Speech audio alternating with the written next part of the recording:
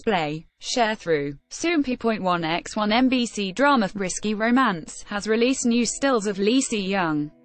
See also, 30 but 17. Pulls ahead and continues at no.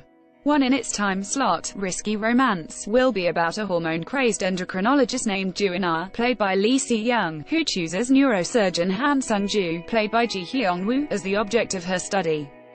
This romantic comedy will be directed by Lee Chang-han of I Need Romance, and writer Kim Nam-hyo of Cheese in the Trap, Soompi. Display, News. English .300x250, BTF Soompi.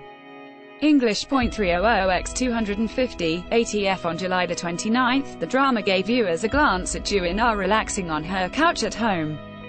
Last week, Ju In-ah introduced herself to viewers by appearing as the lovely endocrinologist who is focused on hormones. She tried to pinpoint the reason for everyone's actions to their hormones, and showed the silly charms of her character.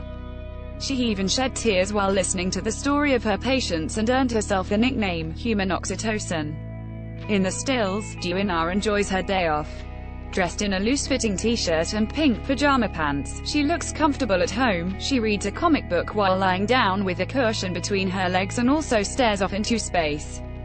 It looks like she's also enjoyed snacks, cup ramen, and drinks which are laid out in front of her. In the final still, Ju In-ah's appearance is in stark contrast to the dressed-up Ju Se-ra, played by Yoon Joo-hee, who visits her home. She looks surprised at something Ju Se-ra says, making viewers wonder what will happen in the upcoming episode. A source from the drama said, you'll be able to see the various charms of In-ah that match the time and place of where she is. We plan to show you a different side of In-ah, a doctor who is full of love and devotion for her patients, relaxing at home on her day off. Please look forward to it. Risky Romance airs on Mondays and Tuesdays at 10 p.m.